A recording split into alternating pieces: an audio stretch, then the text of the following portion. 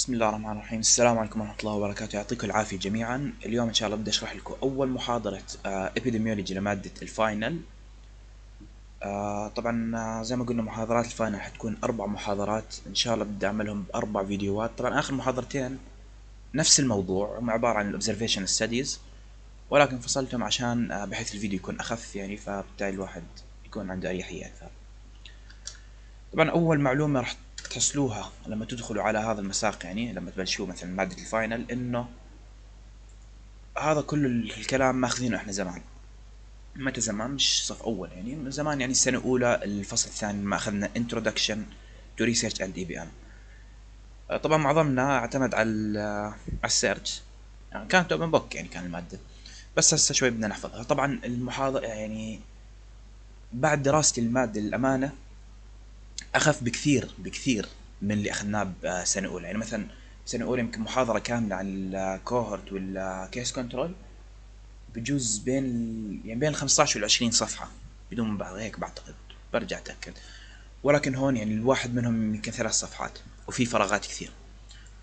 طبعا كمان نقطة إنه حطنا يعني أنا link التفريغ بال description هو وكمان في عملت أنا نسخة ثانية إنه بيكون العناوين مثلا زي هيك هذول بالأسود بيكونوا عشان لما تيجي تطبعوها الأزرق ممكن ما يكونش باين بداية خلينا نبلش. بقول لك what is epidemiology شو يعني epidemiology بقول لك ال epidemiology هو عبارة عن study of the distribution and the determinants of the disease. حلو؟ طبعا هاي المعلومة اللي هسه بدي أحكيها راح تمر معكم لاخر محاضرة يعني حتى بآخر محاضرة حتلاقي المنبر بقول لك لما نحكي disease بكونش قصدنا إحنا بالضرورة يكون قصدنا إنه والله آه، مرض. لا ممكن يكون أي health related outcome أو condition. حلو؟ فلما نحكي disease بيكون قصدنا إنه outcome معين.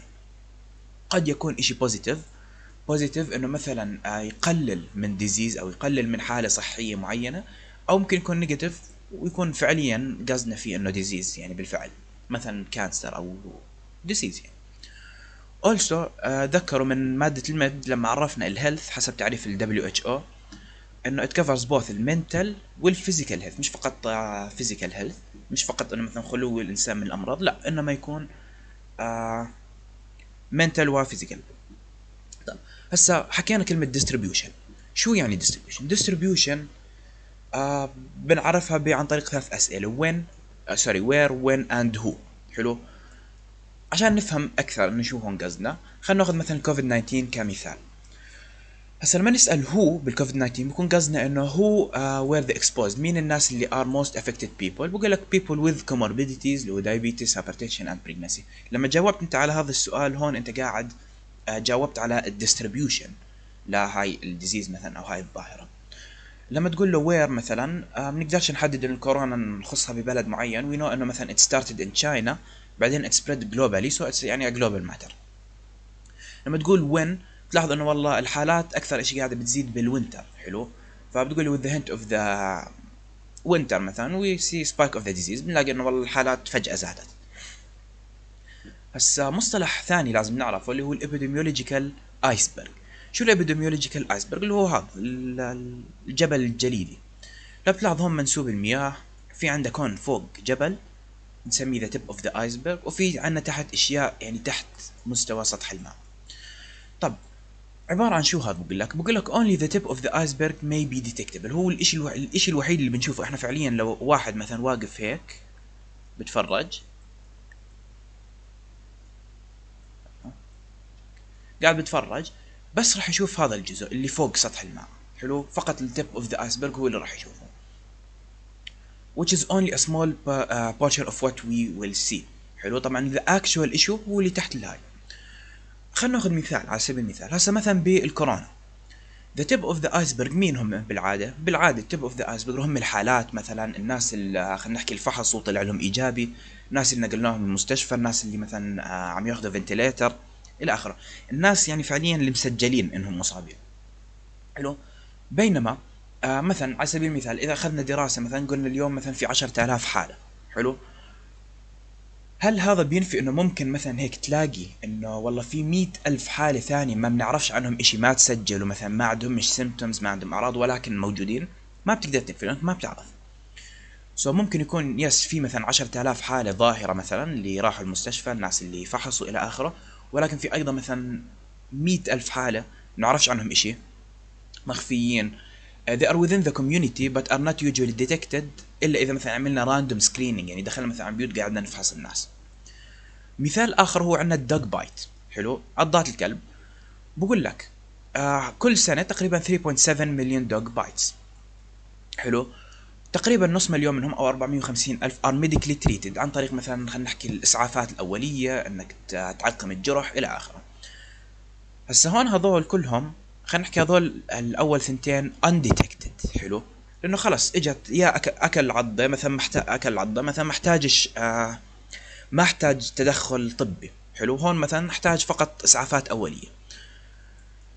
اللي تحت the emergency room visits مثلا حوالي 300 ألف 13000 أو 14000 hospitalization آه بدهم هذول يقعدوا بالمستشفى 20 death هذول كلهم هذول detectable هذول مسجلين حالات مسجلة لعضات الكلب.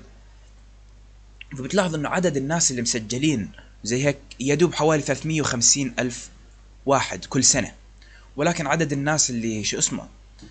آه مش مسجلين ك dog bite حوالي يمكن 4.2 مليون. حلو؟ 4.2 مليون لو بتلاحظ هون تقريبا 10 أضعاف اللي ما تسجل. فهون لو بتلاحظ 4.2 مليون هذول هم عبارة عن ال tip of the iceberg بينما هذول الناس اللي هم عبارة عن الإشي اللي sorry العكس. هذول هم ال tip of the iceberg وهذول هم الحالات اللي ما بنشوفهم. طب definition of cause. هسا عندنا بال epidemiology نمحي هذا أنا بال epidemiology مشكلة مع كلمة cause حلو؟ لأنه إحنا بال epidemiology قاعدين بنحاول ندرس العلاقة بين exposure آه معين و outcome حلو؟ ندرس العلاقة بينهم. مش قاعدين بنحدد إنه هذا سبب هذا وإنما بنحكي إنه هذا وهذا مرتبطين. فمثلا ما بنحكي إنه smoking causes lung cancer ركز على كلمة causes وإنما بنستعيض عنها ب آه بقول لك إنه there's association في علاقة بتربط بين ال smoking وال lung cancer طب ليش كل هاللفة والدوران ومن دارش والعجقة؟ لأنه ببساطة لما تحكي association قاعد تحكي أنت في علاقة بين exposure و outcome ما أكدت العلاقة. حلو؟ إذا حكيت cause ال cause you have to have specific criteria لازم يكون عندك بعض الشروط بعض خلينا نحكي الإثباتات المعينة. آه طبعا هاي الإثباتات ما بتقدر تثبتها فقط ب statistics statistical uh, evidence أو statistics أو مثلا epidemiology epidemiological research لحاله. لازم تدعمه بمثلا pharmacology laboratory experiments clinical هاي الأمور.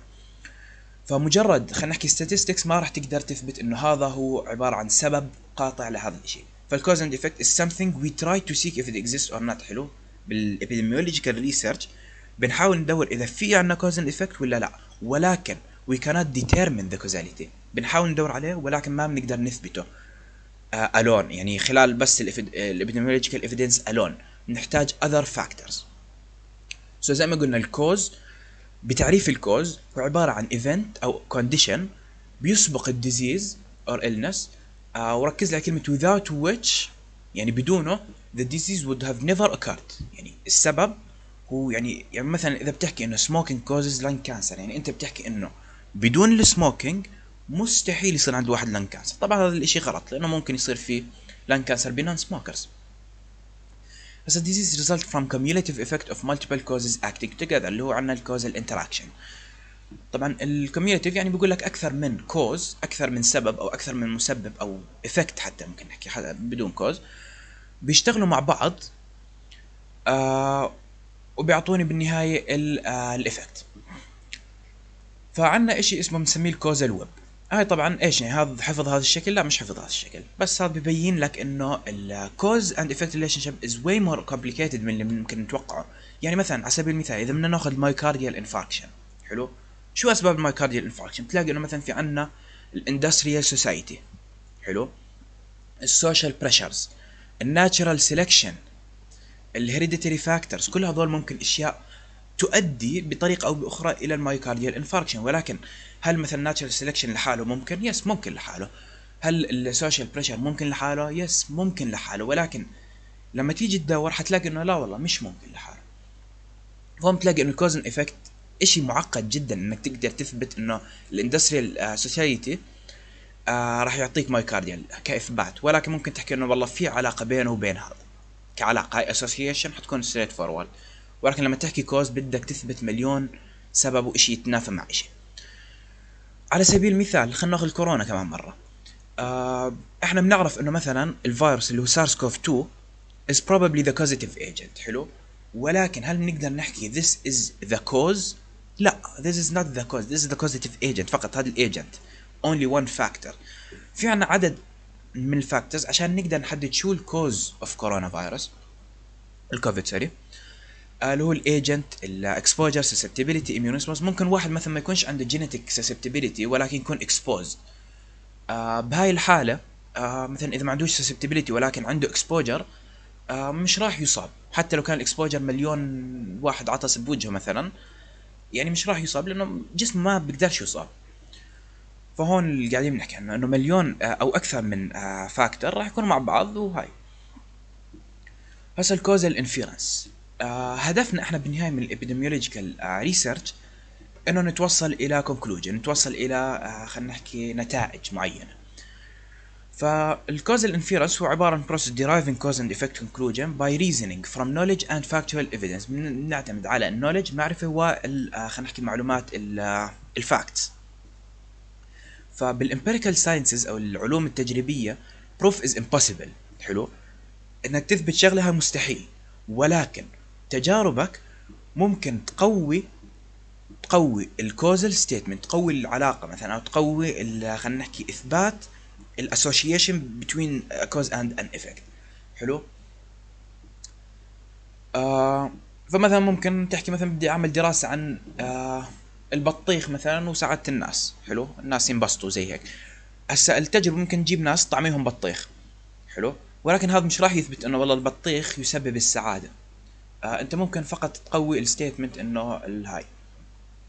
هسه بال 64 آه ال Surgeon General اجى عمل عملنا شو اسمه report حلو؟ report معين حكى لنا عن ال cause and effect طبعا الدكتور مش كثير ركز عليها يعني بس آه بنضطر ندرسها بقول لك ال epidemiological data must be coupled with clinical pathological and experimental data. لحاله ما بنقدرش نجيب statistics لحال ونقول خلاص هاي هي دراسة. لا بدك تجارب مثلا بال clinic تجارب pathological experiment ال epi data must consider multiple variables. زي ما أنتم ملاحظين هون لما قلنا عن ال myocardial infarction حطينا أكثر من variable. أكثر من cause أكثر من variable هون طبعا. ال multiple studies must be considered. تقدرش تعتمد نوع دراسة واحد فقط وتقول خلاص هاي هي يعطيك العافية. ممكن تعمل دراسة ثانية وتثبت العكس تماما. فبالتالي أكثر من دراسة أكثر من خلينا نحكي conditions يختلفوا لازم. فترات زمنية مختلفة.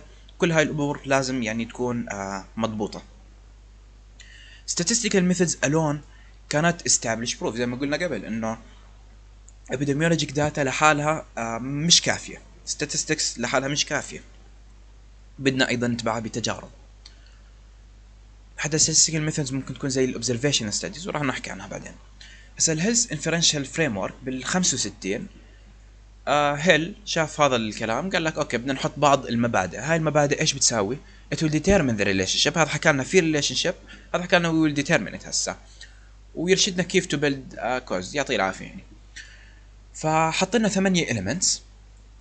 إذا توافرت بتقدر آه وأنت مرتاح قرير العين تحكي إنه هذا عبارة عن cause لهذاك. شو هذا وشو هذاك؟ هسه بنحكي عنه. طب أول element هو ال strength بقول لك stronger associations are less likely to be explained away by confounding factors. في عنا بعض ال factors confounding factors زي مثلا الايج زي الجندر زي الفترة الزمنية إلى آخره. هاي الأمور ممكن آه تعمل فروقات وهاي الفروقات ممكن آه تشطب بعض ال association زي ممكن تحكي أنت في association between نرجع على مثال البطيخ إنه مثلا البطيخ والناس تكون مبسوطة. حلو؟ فبعض الأشياء ممكن تقول لك لا والله الذكور بينبسطوا بأكل البطيخ الإناث بيحبوش البطيخ مثلا زي هيك. فهاي الأمور آه يعني ممكن تكون confounding factors. فكل ما كانت stronger association عنا between A and B it will be less likely to be explained away. Less likely to be إنه ينش explained away يعني ينشطب تشطب عليه. حلو؟ فإنه بتحط أنت الفرضية وبتمشي الفرضية. طب هسه we can quantify the strength of the association. كيف بنقارنهم؟ We quantify it. Quantify it يعني نعطيها قيمة عددية. كيف نعطي قيمة عددية؟ عن طريق ال ratio measures ratio measures اللي هو ال relative risk وال odds ratio طبعا راح تزهقوا بالأمثلة اللي عليهم. حلو؟ الامتحان حرفيا برعاية هذول الاثنين. relative risk وال odds ratio وراح نزهق في الأمثلة. طب مثال على ذلك. لما قلنا إنه بنعطيهم قيمة عددية بقول لك relative risk of 10 provide stronger evidence than relative risk of 2 حلو؟ يعني عدد أكبر فبالتالي أكيد evidence أكبر. ثاني element حط لنا إياها هيل اللي هو ال consistency ال consistency إنك مهما مسكت التجربة وعدتها مليون مرة بظروف مختلفة ب population مختلفة نوع دراسة مختلف cohort على case control على ecological على بطيخ بأشخاص مختلفة وفئات عمرية مختلفة. فا قعدت تغير وتبدل وزي هيك. بالنهاية راح تحصل similar conclusions أو the same أصلا results. تحاول تحصل the same results قدر الإمكان. So the association between smoking وال lung cancer أثبتوها بمليون ألف طريقة. أثبتوها ب ecological study cohort study شافوا مثلا هون إنه مثلا ال... خلينا نحكي البلاد اللي بتدخن كثير آه فيها كثير lung cancer cohort study مسكوا ناس بدخنوا ناس ما بدخنوا شافوا إنه والله اللي بدخن بيصير له آه هاي case control شافوا ناس عندهم lung cancer رجعوا معهم بالتاريخ لورا لقوا إنه والله آه والله بدخنوا فكل هاي أكثر من طريقة للدراسة. And it was done by independent investigators الناس اللي عملوا اللي أجروا التجربة مختلفين and on different continents ببلاد مختلفة قارات مختلفة. So كملخص لهاي النقطة بقول لك different approaches and circumstances yield the same results.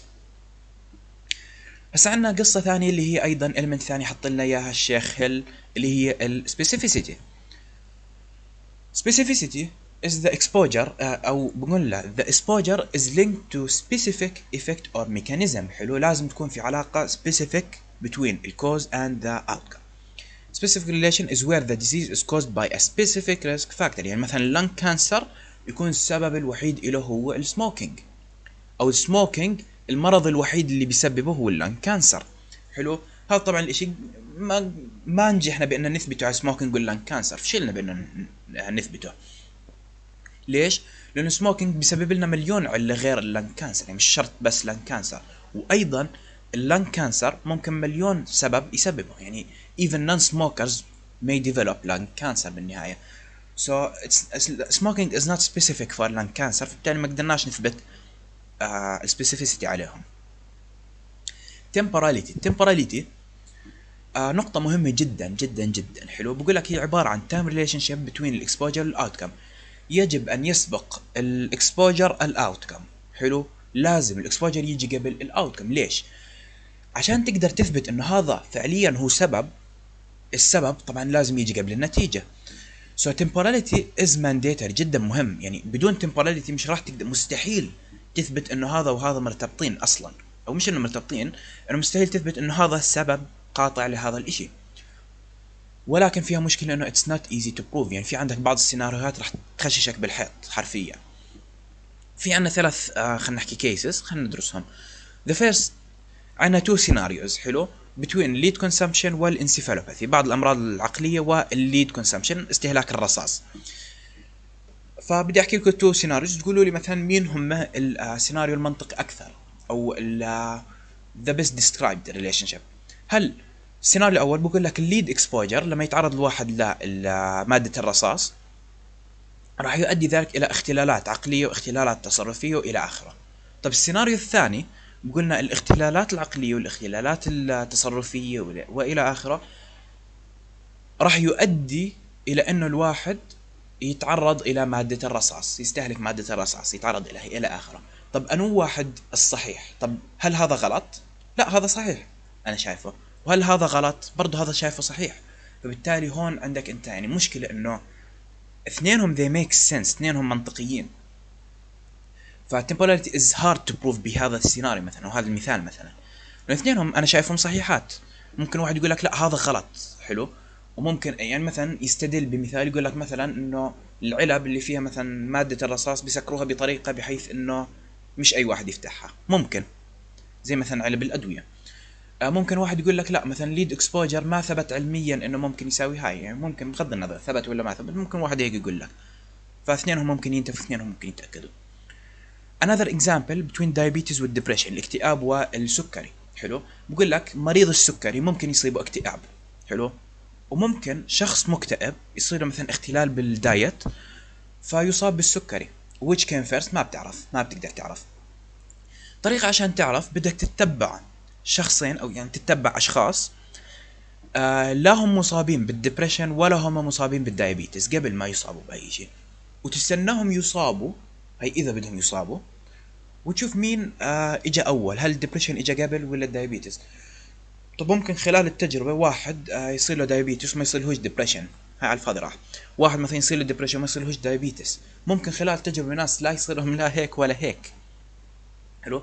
ممكن واحد مثلا depression أو ممكن واحد diabetes أو خلال نفس التجربة نفس الهاي. فهون أيضا حيصير في عنا بعض التضارب بالمعلومات. طبعا بنشوف مين الأكثر وبنقدر بعدين هسه مثال آخر آخر مثال عن موضوع ال temporality هون ها شوي بنسهل عليكم الأمور. بتصير إشي ممكن نثبته. Relationship between cigarette and lung cancer. حلو؟ between التدخين وال lung cancer هون ممكن أي واحد يقول لك إنه التدخين أكيد ببلش أول. ليش؟ لأن الواحد ببلش متى يدخن؟ بالمدرسة at early age يجرب أول سيجارة.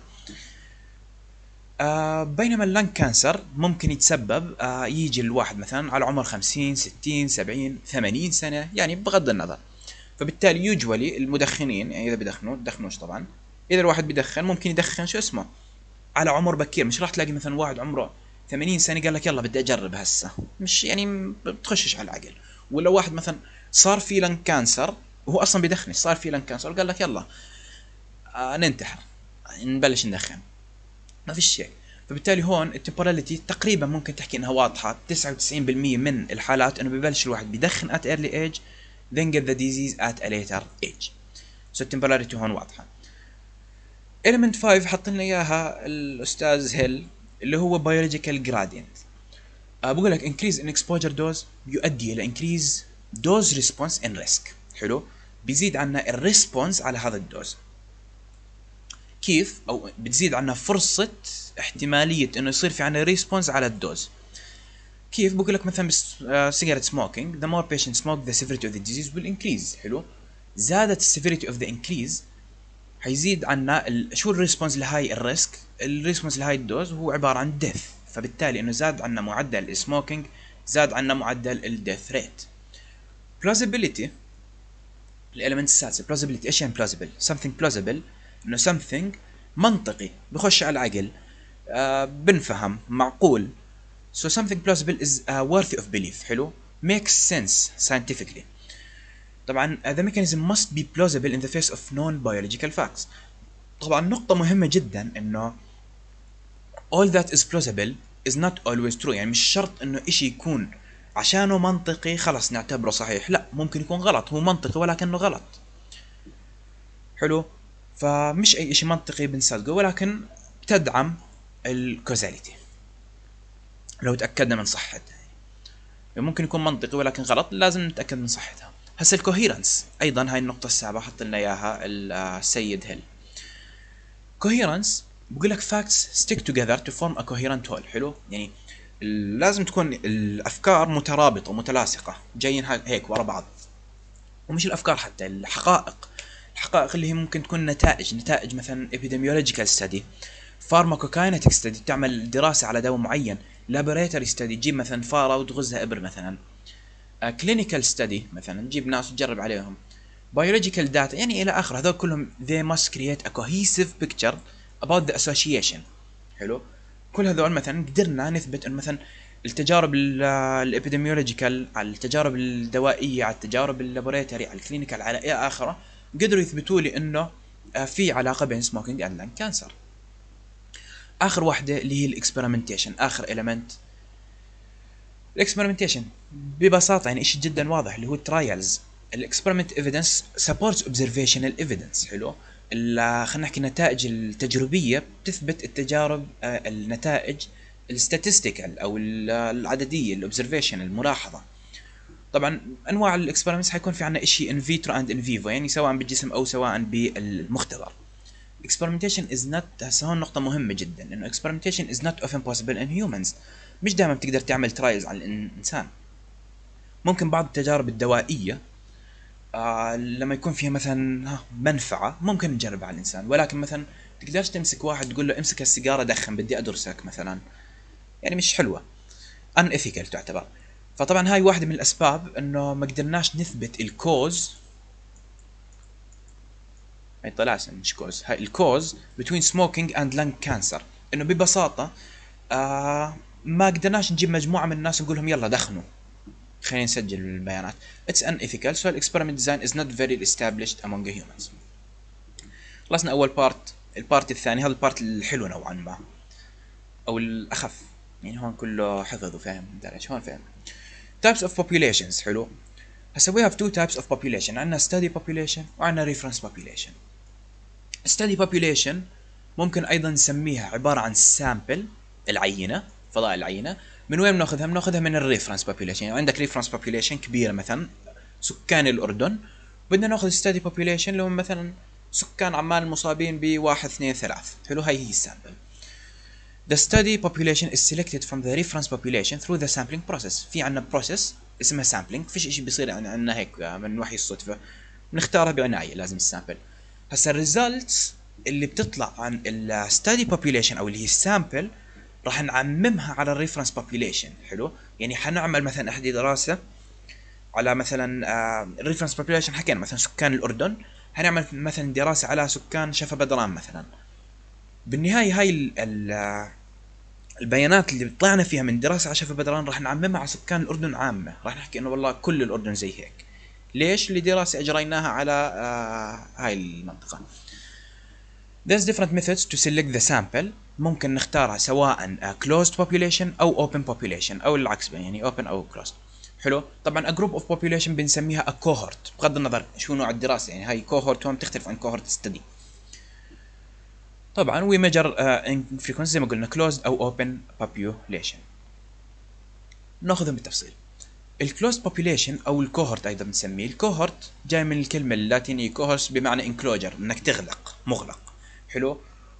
أيضا هي عباره عن وحده basic tactical unit من الجيش الروماني هسا ال epidemiological cohort تعرف راح يمر عليكم بعدين كمان is a group of individuals followed over time and have specific characteristics لاحظ انه group of individuals followed over time وعندنا specific characteristics The term cohort came from the birth decade. حلو؟ يعني بداية أول ما جبناه من كلمة العقد. فال cohort ممكن نسميه مثلا عقد السبعينات مثلا uh, the 70s cohort. عقد الثمانينات ال 80s طبعا كل cohort عن cohort كل عقد عن عقد كل جيل عن جيل راح يختلف. في بينهم تشابه وبينهم اختلافات. ليش نعممهم أنواع ال cohort this could be an age cohort. ناس مثلا جيل معين تقول مثلا الفئة العمرية بين 50 ل 60 this is an age cohort. Or it could be uh, individuals with specific exposure تقول مثلا people exposed to uh, the بطيخ حلو ناس المعرضين إلى البطيخ بكثره هذول مثلا يعتبروا uh, people with uh, the same exposure cohort cohort تبع البطيخ closed population are specifically closed حلو يعني من اسمها closed population يعني بدها تكون closed أكيد مش open ف nobody will move in or out of the population ممكن أصلا نركز على كلمة nobody will move in ممكن الواحد يموت يعني بالنهاية ف nobody will move into the population. It is closed. خلص بلشنا هاي الكوهورت. آه بلشنا مثلا بألف واحد. ممكن تنتهي التجربة آه بألف. ممكن أقل يعني. إذا مثلا كان فيها death associated with it هتنتهي بأقل من ألف.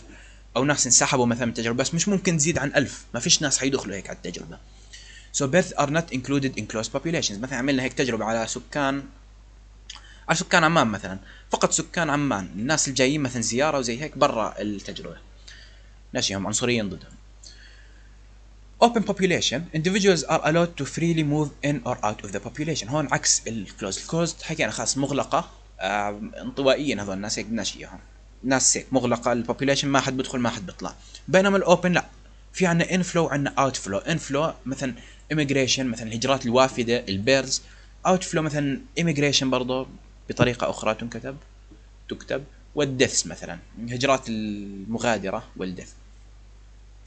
هسه specific طبعا ال open population بنحبها أكثر شيء لل major studies over group of individual in a specific geographic locations. يعني بالعادة إذا بدنا نعمل على محافظات مثلا زي هيك الشيء الانسب هو ال open population لأنه أكيد أنت مش راح تقدر تتحكم بالناس الداخلين والطالعين من المحافظة يعني. هون كنا نمزح لما نقول عمان. so, يعني مثلا close population ممكن تفيدنا بمثلا ناس uh, عند مرض معين نعمل كلوز population. مثلا بال op بينما بال open population على بلد معين region معين location uh, معينه إلى آخره. An open population in steady state is said to be stationary. طبعا ال open population حكينا it's dynamic بالعادة. آه في عنا ال size بتغير الايج بتغير ناس بتدخل ناس بتطلع ناس بتموت ناس بتنولد آه إلى آخره. فبتضلها تتحرك. So if it was in steady state بنسميها stationary. حلو؟ قاعد بمحل هيك ثابته راكزه طبعا إشي مو آه أو أوكي. هسه هون هون عن جد الجزء الحلو. هون كان جزء ضحكت عليكم فيه. هون الجزء اللي عن جد حلو. هون الحسابات بنبلش رياضيات إن شاء الله بخسرها هسه measuring the disease frequency حلو؟ في عنا طريقتين to measure the disease frequency. المرض مرض معين آه الإصابة بالمرض الإصابات. ممكن نقيسها بطريقتين. ال incidence أو ال prevalence ال incidence هون بنحكي عن ال new cases خلينا نحكي الحالات الجديدة. ال prevalence بنحكي عن ال total cases حلو؟ فرق بالمعنى إنه ال incidence لل new ال prevalence total سواء new أو old وهسه راح ناخذ عليهم أمثلة. على سبيل المثال خلينا نحكي ال incidence proportion incidence proportion IP هسا the term incidence gives you an indication about the newly developed cases. حلو؟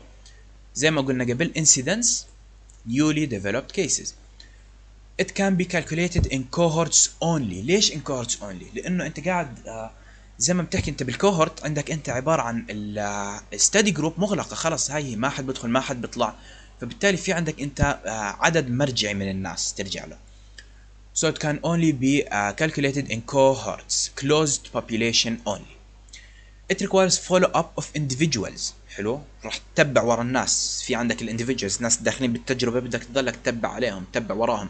تشوف هذا مرض ولا لسه؟ هذا مات ولا لسه؟ تستنى متى بده يموت متى بده يمرض متى بده ينشفي مثلا.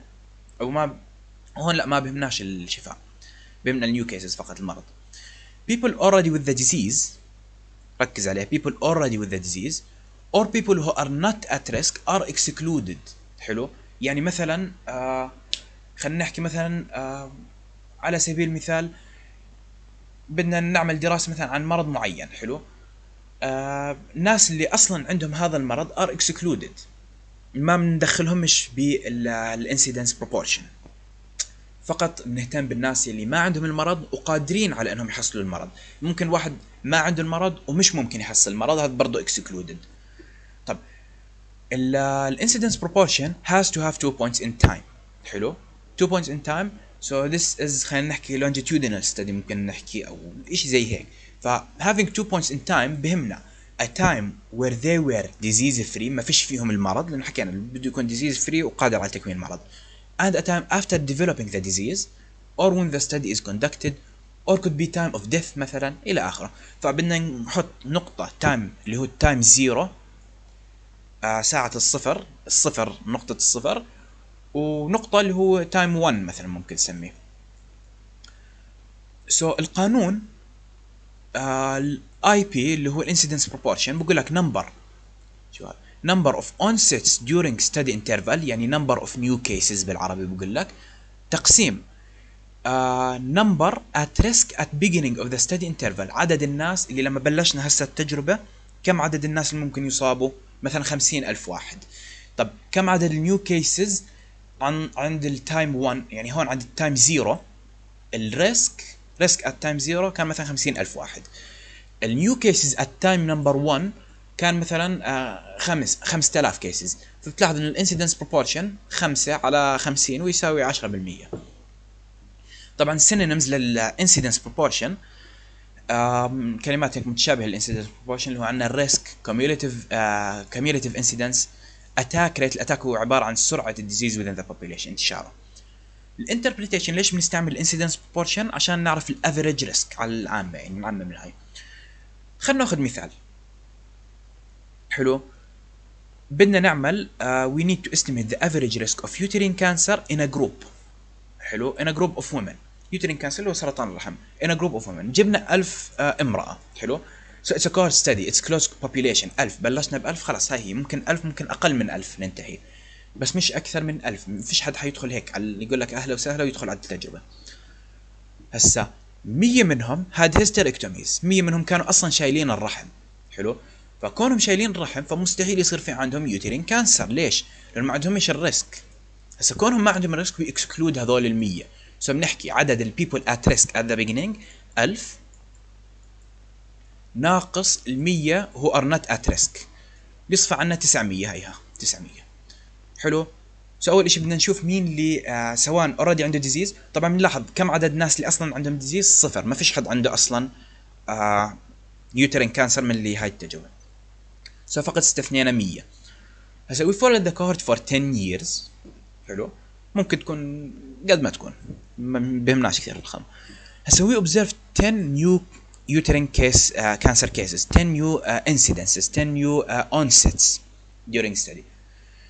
So صار في عندنا عدد الحالات الجديدة 10 عدد الحالات الجديدة 10 تقسيم فبنحط ال number of onsets اللي هو 10 تقسيم number at risk اللي هو 900 10 تقسيم 900 يساوي 0.1111 سو ال 10 year average risk is uh, 1.1 بالمية. حلو؟ هسا ال prevalence the term prevalence gives you an indication of the disease presence within the sample حلو بغض النظر prevalence هو عبارة عن disease presence within the sample سواء سواء newly developed أو old so prevalence has only one point in time ما بناخذ مش longitudinal مثلا زي الانسيدنس انه ناخذ مثلا time 0 and time 1 لا ناخذ فقط time واحد هيك بغض النظر so it's like a cross section it is actually يعني زي ال cross section فعليا uh, وراح ناخذ عن ال cross section بعدين. uh, as if you're cutting a cake at one point in time. يعني مثلا هيك قاعد تمسك أنت الوقت بتقص هوب واحدة. So it gives you an indication about the proportion of individuals within your sample who have the disease. قاعد أنت بتتفرج مين اللي عنده ال disease واحد اثنين ثلاث أربعة. حلو. At this point مثلا بال 2019 كم واحد عنده مثلا آه انفلونزا طيور مثلا؟ على سبيل المثال إذا في حد عنده بمثلا آه 20 آه 2021 مثلا. كم واحد أصيب بكورونا in total زي هيك. That's only one point in time. بغض النظر old or new case. So it has no built-in time function اللي هو عندك time 0 time 1 وتحسب ومن داري إيش. So شو القانون؟ بقول لك number of old and new cases بشكل عام number of cases حتى بتقدر تحكي. تقسيم number of people. عنده risk ما عندهوش risk عنده بطيخ ما عندهوش بطيخ. بشكل عام all the people. إذا أخذنا مثلا هذا المثال آه طبعا ال interpretation متى بنستعمل prevalence if you want to get the uh, proportion with the condition بدنا نسبة الناس اللي عندهم المرض أو probability a person selected at random will have the uh, condition. يعني إما خلينا نحكي نسبة المصابين بالمرض أو فرصة إنه هيك شخص عشوائي قاعد بأمان الله يصاب بالمرض. حلو؟ هسا ال example نفس ال example اللي فوق مثلا قلنا بلشنا ب 1000 women آه 100 أصلا كان عندهم hysterectomies بدنا نحسب عدد ال women آه ال hysterectomies حلو؟ Prevalence of hysterectomy. We recruited 1000 women 1000 women هي number of people 1000 بغض النظر عنده risk ما عندوش risk إحنا هون أصلا مش قاعدين بنحكي عن risk هنا لما نحكي عن one point in time مش قاعدين نحكي عن risk إحنا قاعدين نحكي عن disease بشكل عام.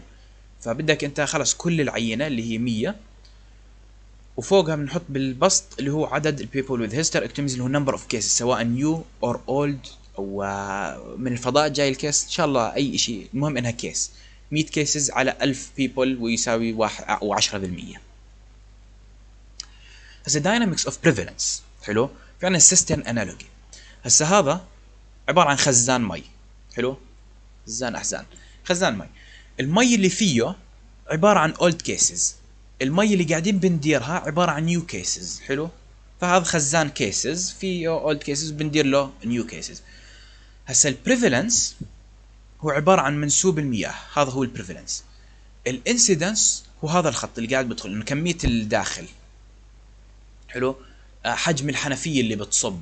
قديش بتصب؟ هذا ال incidence التدفق أو ال incidence so هسه في عنا بعض ways to increase ال prevalence حلو. طبعا هسه هون أيضا بصير في عنا recovery أو death فهي حنفية مفتوحة بتنقط. عم ال old cases عمالها بتخلص عن طريق إما يا recovery يا death وبتحولوا إلى former cases حلو فاهمينه؟ يعني خزان مي فيه أصلا مي قديم اللي هي ال old cases بندير فيه مي جديدة. تدفق المي الجديدة هو ال incidence.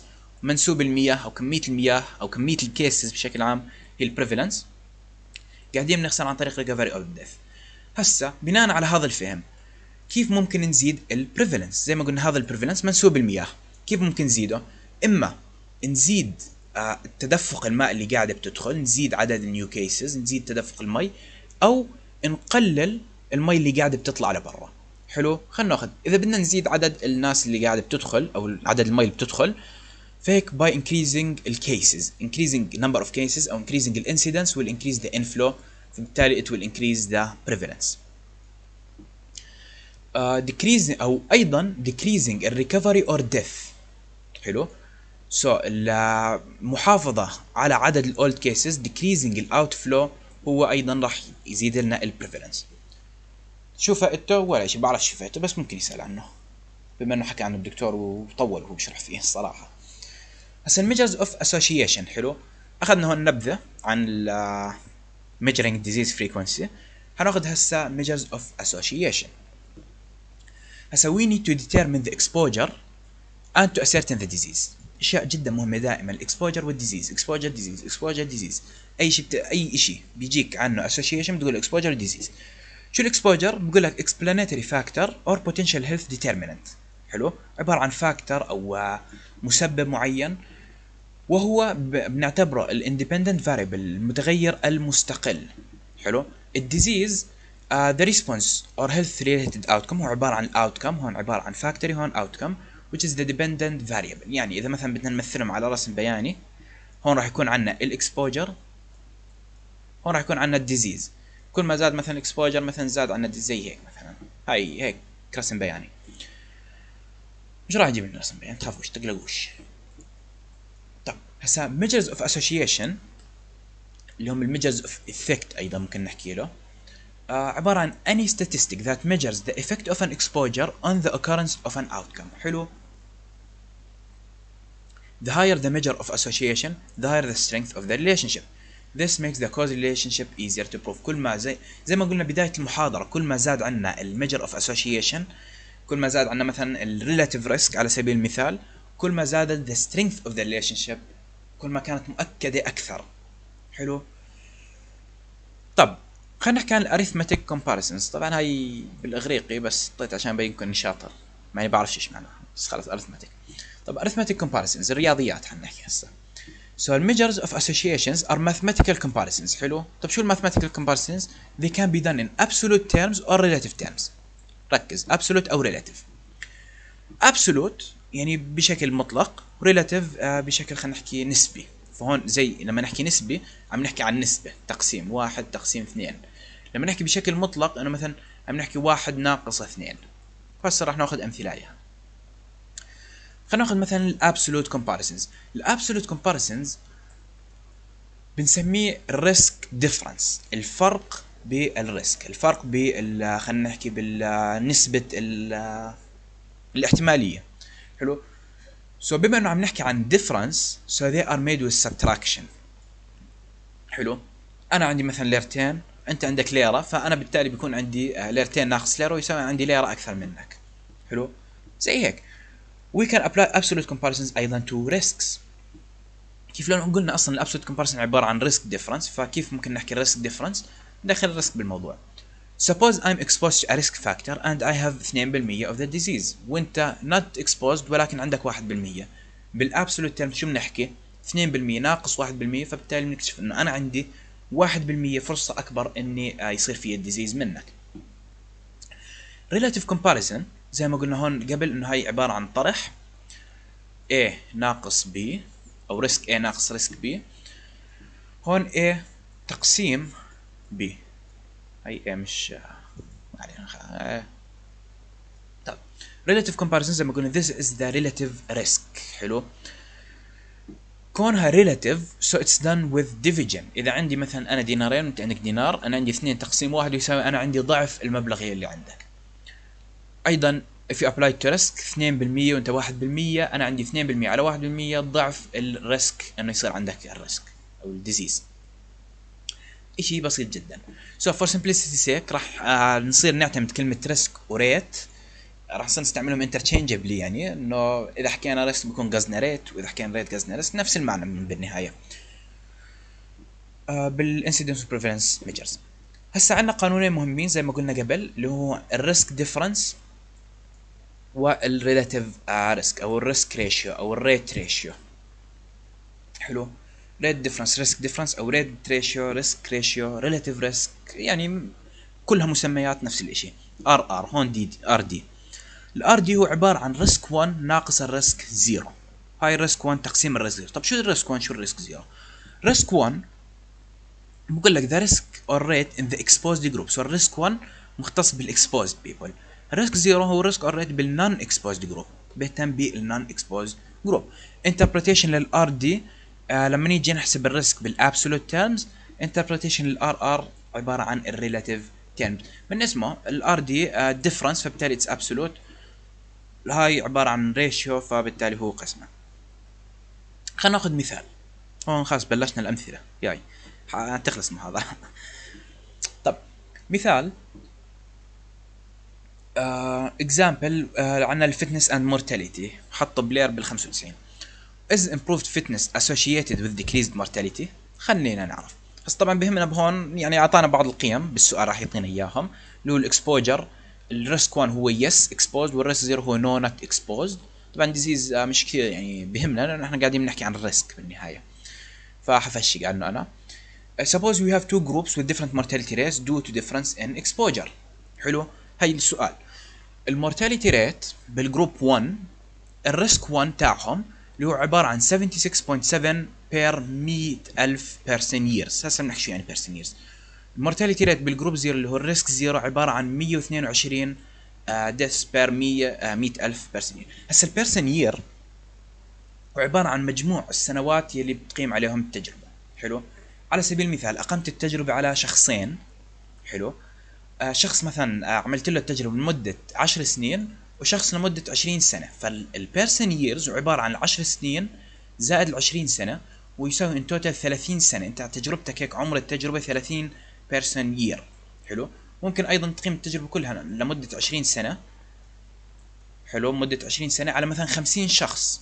حلو؟ فال 50 شخص لمدة 20 سنة بتكتشف إنه إيه والله أنت عندك تجربتك عمرها 1000 سنة. 1000 person years فهي زي ال total كيف لما يجمعوا الخبرة مثلا زي هيك؟ زي هيك. هسه مثلا بقول لك احسب لي ال effect of improved fitness بال absolute terms واحكي لي كيف تنقرا بتقول له بال absolute terms ال RD بما إنه طلب absolute terms بتحط له قانون ال RD طلب قانون ال RD بتقول له RD يساوي risk 1 ناقص risk 0 risk 1 هيو. من جبناه من القانون من sorry من المعطيات. risk 2 risk 0 sorry حطينا هيو ناقص risk 0 برضه من المعطيات. حسبناهم طلع معنا سالب 54.4 طلعت معنا قيمة سالبة. إيش نساوي؟ ولا شيء حلوة القيمة السالبة هون. The effect of improved fitness. كيف نقرأ القيمة السالبة؟ بقول لك the effect of improved fitness the effect of the exposure اللي هو improved fitness was to. بما إنه سالبة. to decrease to decrease. شو هذا؟ هذا ال mortality rate so to decrease mortality by 54 per 100000 person so ال improved fitness هل فادتنا ولا لا؟ مع انه أعطتنا قيمة سالبة ولكن القيمه السالبه إيش هاي؟ قيمة سالبة بالوفيات صار عدد الوفيات أقل ب 50 وفية حلو؟ أو وفاة so so, زي ما هون قاعدين بنحكي the effect of the exposure was to decrease the disease أو the outcome by هالقد لأنه ممكن يكون exposure غير يكون مثلا ال exposure حناخذها بمثال ثاني. انه ال exposure هو عدم ال improved fitness عدم ال improved fitness. ممكن يكون exposure فحسب exposure السؤال فبتقول the effect of of exposure was to decrease uh, outcome by هالقد تجيب ال exposure من السؤال تجيب ال outcome من السؤال. so so, طب هسه إذا طلب منك in relative terms نفس البطيخ اللي عملته هون بس in relative terms. شو قانون شو القانون تبع relative terms so يمكن ما يقول لك بالسؤال RR راح يقول لك relative terms لحال فأنت لحالك تعرف إن relative terms يعني RR قانون ال RR إيش؟ R 1 على R 0 احسب هاي R 1 من السؤال R 0 من السؤال طلع لك حوالي 0.55 تقريبا نص يعني. So the effect of the exposure was to almost cut the rate of outcome in half. حلو؟ شو ال exposure improved fitness. شو ال outcome death. So the effect of improved fitness was to almost cut the rate of half in half. قللنا عدد الوفيات تقريبا للنص هسه ال designation of exposure هسه ممكن يقول لك زي ما قلنا قبل انه ليش ليش مثلا أنا لما اجيت اقراها قريت انه effect of exposure uh, this is by the disease والى اخره لأنه ممكن يعكس لك اياها بالسؤال يقول لك مثلا switch the exposure doesn't materially affect the interpretation حلو ممكن يقول لك if we had let the exposure refer to failure in improved fitness. حلو؟ عكسنا هون حطينا إنه ال exposure هو failure in improved fitness. أو عكسنا إن ال risk هون يساوي no no وال risk صفر يساوي yes حلو؟ فلما نعكسهم R1 اللي هي ال exposure لو إحنا ملاحظين ال exposed لل not improved fitness راح يصير إنه الناس السيئة وضعهم الناس اللي بتموت أكثر فبصير هذا R1 الناس اللي not exposed لل failure in improved fitness راح يكونوا ال non exposed فبالتالي راح يكونوا أفضل حالا. بالتالي هاي بصير R0 فلما عكسناهم صار هذا R0 وهذا 1 بالتالي هون بصير 100 122 ناقص ال 67 أو 122 تقسيم 67 كمان مرة؟ يمكن الواحد ضاع شوي. إنه إذا قلنا إنه هون مثلا بهذا المثال كان حاطين لنا ال exposure هو improved fitness. حلو؟ إذا حكينا ال exposure صار هسه الإشي المنطقي إنه improved fitness بالتالي راح يكون عدد الوفيات الأقل لمين؟ للي improved fitness. بس إذا قال لك ال exposure not improved fitness عدد الوفيات الأقل راح يكون للي not exposed لأن ال exposed ال people who are exposed لل not improved fitness وفياتهم حتكون أكثر. فبالتالي بما إنه هذا هو ال exposure حصله فبيحصل R1 طبعا بإمكانكم ترجعوا على فيديو الدكتور بس يعني نفس الكلام حيكون. طريقة ثانية لنمثل فيها البيانات هي ال 2 by 2 table format ممكن يجيب لنا إياها الدكتور. كيف نقرأ هاي ال table؟ هاي ال table ببساطة عندك هون ال exposed مسطرين هون ال non exposed مسطرين هيك ال disease هي مسطرين وال non disease هيك محطوطين طب هسا ال people with exposure and the disease راح يحصلوا هاي الخلية تقاطع هاي الخليتين فهاي الخلية ال A1 هم people with exposure and the disease. People with the disease but no exposure راح يحصلوا هاي الخلية people with no disease but exposure يعني معهم exposure but no disease هاي الخلية people with no exposure ولكن وأيضا no disease هاي الخلية حلو الرقم n راح يكون عبارة عن total exposure n1 هو total exposed n0 هو total non exposed m1 total diseased و n و m0 هو total non diseased طبعا بأول محاضرة آه الأشياء اللي راح نحتاجها هذا ما راح نحتاجه هذا ما راح نحتاجه. ومش بأول محاضرة هاي بال relative risk ما راح نحتاجها ما راح نحتاج. ال M ما راح نحتاجها وال M 1 ما راح نحتاجها راح يشت... يكون شغلنا فقط. على هذول الاثنين وهذول الاثنين. حتى ما نحتاج بآخر محاضرة أو اللي قبل الأخيرة يعني واحدة منهم آه الأخيرة راح يصير تركيزنا عليهم كلهم ولكن نبطل نحتاج الان هذول راح يصيروا X يصير لعبنا هون فقط. طب بداية خلينا نحكي بالنسبة لل risk ratio زي ما قلنا بنحتاج ال A وال N. ليش؟ قانون ال risk ال risk لل exposed people هو عدد. uh, people exposed and got the disease people exposed and got the disease على عدد people, total people who were exposed. So R1 R1 هو عبارة عن A1 تقسيم N1 R صفر لأنه حكينا R 1 مختصة بال exposed فبالتالي عدد ال exposed and got the disease على عدد ال exposed بشكل عام.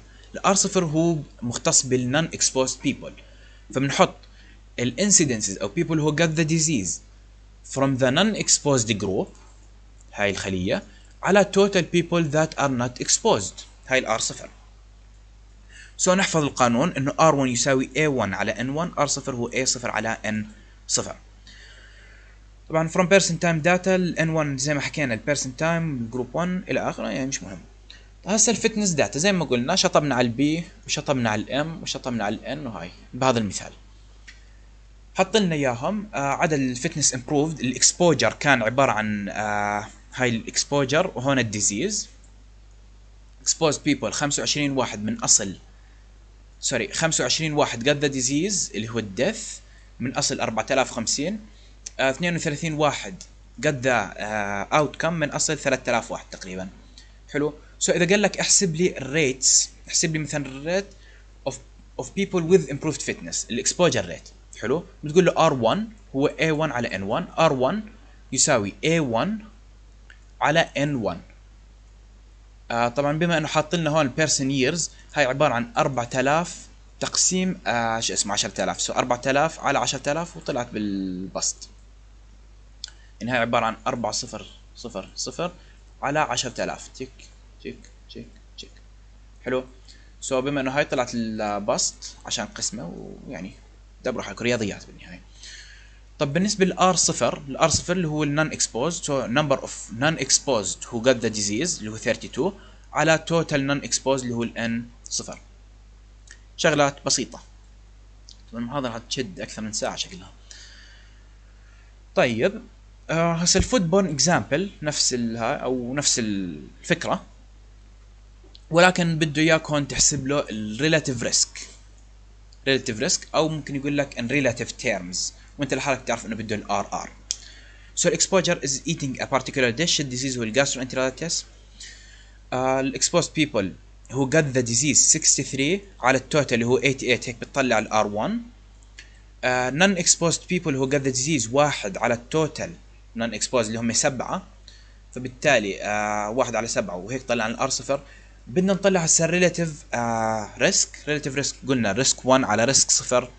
ناخذ قيمة ال risk 1 يجي علينا. طيب ناخذ قيمة ال risk 1 هي حطيناها هون. على قيمة ال risk صفر طلع لنا بالنهاية ال relative risk كيف نقرأ ال relative risk بقول لك ال exposed groups have had 5 times the risk. حلو؟ exposed had 5 times the outcome. People who ate the dish had 5 times uh, the disease مثلا. Gastroenteritis. آخر إشي برضه أمثلة بسيطة.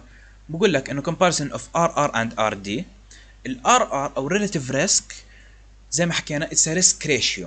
حلو؟ أو a ratio measure. حلو؟ قلنا بداية المحاضرة إنه ال ratio measures بيحددوا لي ال strength of the effect حلو؟ زي ما قلنا ال powerfulness وين هون حكيناها؟ أيوه ال ratio measures quantify the strength of the association. فنرجع back so the strength of the effect ال RR بينما ال RD اللي هو ال absolute term أو ال difference بيعطيني ال effect in absolute terms بشكل عام يعني بيعطيك أرقام هيك arbitrary numbers ما يعني ممكن تستفيد منهم yes ولكن ما بيعطوكاش ال strength خلينا نشوف الأمثلة.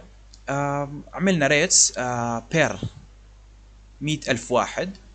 يعني جبنا مئة ألف واحد بدنا ندرس ال lung cancer وال coronary heart diseases associated with smoking. حلو. قاعدين بندرس two diseases وال smoking بنكتشف بالنسبة لل lung cancer ال exposed people 104 are exposed to smoker to smoking non exposed are 10 uh, so the relative risk تقريبا كان عبارة عن 104 sorry ال آه ال relative risk هو ال exposed على ال non exposed اللي هو 104 تقسيم 10 فبالتالي طلع عنا 10.4 يعني هاي بده يكون ال R 1 وهذا هو ال R 0 لأنه هذا exposed non exposed so 104 تقسيم 10 يساوي uh, 10.4 خلينا نحكي in relative sorry in absolute terms اللي هو ال difference نقول 104 ناقص 10 ويساوي 94 هون نفس الشيء بنقول ال exposed على ال non exposed اللي هو R1 على R0 560 على 400 تقريبا بيطلع لنا 1.3 آه بينما خلينا نحكي إن the difference أو ال absolute terms بنقول هذا ناقص هذا ويساوي 105 150 طرح فهون إيش الاستنتاجات؟ بنستنتج إنه ال strong ال smoking a stronger effect for lung cancer than for coronary heart disease. حلو. smoking stronger effect لل lung cancer من ال coronary disease لأنه أكبر ال risk ratio تاعه. بينما هون بالنسبة لل risk difference شو أعطانا؟ هون أعطانا مين stronger effect يعني تأثير التدخين على ال lung cancer أكبر من ال coronary heart disease ولكن هون أعطانا عدد ال cases بشكل عام. حلو؟ آه فقال لك إنه causes more coronary heart disease than uh, lung cancer. حلو؟ أعطاني 150 آه من آه شو اسمه؟ which is أكثر من 90 طبعا هاي بنقدرش دائما نحط هيك يعني إذا بدنا نقارن فعليا مقارنة تكون عادلة لازم يكون عندنا ال يعني العدد نفسه تقريبا يكون. ما علينا. أو نفس ال exposures يعني. هسا what do you do when you have multiple levels of exposure? طبعا هذا راح ناخذه أيضا آه، بآخر محاضرة. ومش مشكلة بناخذه هسه كمان. لما يكون في عندنا أكثر من level of exposure بنسمي كل واحد منهم R R1 آه، مثلا R0 ال R0 حكينا non exposed هو R0 بنصير نسميهم R1 R2 R3 زي هيك يعني. R2 R3 الخط جميل جدا جدا جدا. so so هاي R1 R2 3 4 إلى آخره. صار ال R0 اللي هو ال non exposed حيكون هو المرجع. حلو؟ طبعا راح ناخذ بآخر محاضرة إنه بإمكاننا أيضا نقارن بين مثلا R2 R1 ولكن الأفضل عشان نحصل القيمة الأفضل واللي يجهل إذا بدك تحسب ريلاتيف بدك تحسب على النون اكسبوزد بالنهاية. آه عشان تقارن بينهم فبتحسب هاي. فالنون سموكر مثلا كان عندنا اللانج ريت اللي هو الديزيز دي 10 حلو؟ فبتقول أنت 10 الريسك مثلا 10 تقسيم 10 يساوي هاي. اللايت سموكر هاي طبعا ريسك مش الديزيز. ال light smoker كان عنده مثلا ال risk حوالي 52 فبتحكي أنت بدك ال relative risk 52 تقسيم 10 يساوي 5.2 بالنسبة لهذا 106 تقسيم 10 10.6 ال very heavy smoker 200 ال risk تبعه تقسيم العشرة ويساوي 22.4 so دائما بترجع لل reference اللي هو ال R صفر. آخر نقطة اللي هو ال odds ratio حلو؟ حكينا عن risk ratio أيوه ال risk ratio وهسه بنحكي عن ال odds ratio ال odds ratio عبارة عن شيء similar لل risk ratio but based on odds rather than risks. حلو؟ بنهتم أكثر بال odds أكثر مما بنهتم بال risk ليش؟ ال risk بإمكاننا نستعمله بال cohort مثلا اللي لسه ما تكونت عندهم الأمراض. فبنحكي إنه قديش فرصة يصاب بالمرض. ال odds ممكن نستعمله بال case control studies اللي أصلا آه، كان في عندهم المرض. فبالتالي أنت مش قاعد تحكي عن risk بهاي الحالة قاعد تحكي عن آه، فرصة أو احتمالية مش risk So when the disease is rare uh, you interpret it the same way you interpret relative risks. يعني لما يكون ال disease very rare وتطبق odds ratio أو relative risk راح يعطيك تقريبا نفس الجواب. حلو؟ ليش تقريبا نفس الجواب؟ لو كان ال disease rare عدد ال disease هذا راح يكون رقم جدا صغير جدا جدا صغير. فبالتالي ال N وال B راح يكونوا شبه بعض تقريبا. حلو؟ فأنت لما بتحكي A1 تقسيم N1 بال relative risk عشان تحسب ال risk زي كأنك بتحكي A1 تقسيم B1 بال odds ratio لأنه هذول تقريبا نفس القيمة وهي تقريبا تهمل. هاي في حاله إذا كان very rare the disease. بينما إذا كان عادي لا حيعطيك قيمة شوي مختلفة. So إذا كان عندنا ال OR of 1 this means the risk are the same in the exposed and the non-exposed groups. يعني ما فيش علاقة. إذا كان ال odds ratio عبارة عن واحد فبالتالي سواء الواحد كان exposed ولا non-exposed راح يطلع عنا نفس المرض. طبعا إذا كان أقل من واحد هون راح يعطيك آه خلينا نحكي آه قيمة علاجية إذا كان أكثر من واحد راح يعطيك آه as a risk يعتبر. فبالتالي شيء ما يعني. آه هاي هي؟ كيف في القانون ال odds ratio هو ال A 1 تقسيم B 1 بدل ما كنا نحكي A 1 تقسيم N 1 على A 0 تقسيم N 0 نحكي A 1 تقسيم B 1 على A 0 تقسيم B 0 وإذا بدنا نسهل على حالنا أكثر وأكثر بنقول نريح رأسنا بنحكي A 1 ضرب B 0 على B 1 ضرب A 0 يعني ضرب تبادلي. A 1 B 0 B 1 A 0 ضرب بعض. cross product ratio example عليه احسب لي ال odds ratio ل خلينا نحكي ال disease is neural tube defect ال exposure وال folic acid exposure احسب لي ال odds ratio ال odds ratio بتحكي 10 ضرب ال 12000 على 40 ضرب ال 10000 تقريبا. و هاي هاي ضرب بعض هاي ضرب هاي ضرب. ويساوي تقريبا 0.29 إذا بدك تحسب ال relative risk إذا بدك تحسب ال relative risk راح تحكي 10 تقسيم عشرة سبعة واحد ثلاث. زدتهم مع بعض عشان يعطيك الان إذا بدك تحسبهم برضو أيضا حتكون هاي 11 بعدين 9 4 4 بعتقد أو شيء زي هيك. فبدك تحسب هاي. طبعا هون تقريبا هذا وهذا نفس الإشي. هاي هي القيم الان تقريبا هذول نفس الاشي وبالتالي بما إنه هون ال disease is rare فسواء استعملت odds ratio أو risk ratio راح يعطيك نفس القيمة تقريبا. وبس والله. بحالة ال odds ratio زي ما قلنا الضرب تبادلي ويعطيكم ألف عافية. طبعا المحاضرة طولت بس آه، مش مشكلة يعني. أطول محاضرة هاي أزنخ محاضرة. المحاضرات الجاية ست صفحات يعني أكبر واحد ست صفحات والباقي ثلاث صفحات وأربع صفحات ف it's طيب آه كيف نقرأ هاي؟ يقول لك ال exposed group هاد 29% times يعني about quarter the risk of non exposed يعني بنعرف اللي هو بس والله يعطيكم ألف عافية. طبعا كانت أطول محاضرة أزنخ محاضرة فيها كل شيء كان تقريبا كل شيء introduction بالنهاية يعني.